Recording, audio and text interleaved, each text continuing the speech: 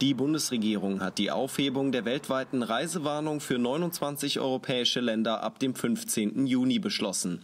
Das sagte Bundesaußenminister Heiko Maas am Mittwoch nach einer Kabinettssitzung in Berlin. Wir haben heute im Kabinett beschlossen, dass wir die weltweite Reisewarnung ab dem 15. Juni für die Mitgliedstaaten der Europäischen Union und für die Schengen-assoziierten Staaten und für das Vereinigte Königreich aufheben und durch individuelle Reisehinweise ersetzen. Da in Norwegen und Spanien noch über den 15. Juni hinaus Einreisesperren wegen der Corona-Pandemie gelten, verzögert sich für diese beiden Länder die Aufhebung der Reisewarnung. Maas sagte aber, er erwarte für Spanien eine Aufhebung der Einreisesperre zum 21. Juni. Unmittelbar danach würde dann auch für das Urlaubsland Nummer 1 der Deutschen die Reisewarnung aufgehoben.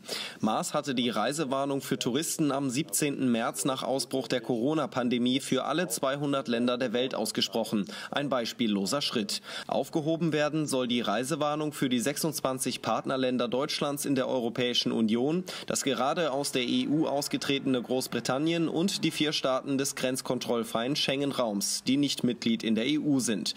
Island, Norwegen, die Schweiz und Liechtenstein. Noch nicht entschieden hat die Bundesregierung, wie sie mit den Ländern außerhalb der EU umgehen will.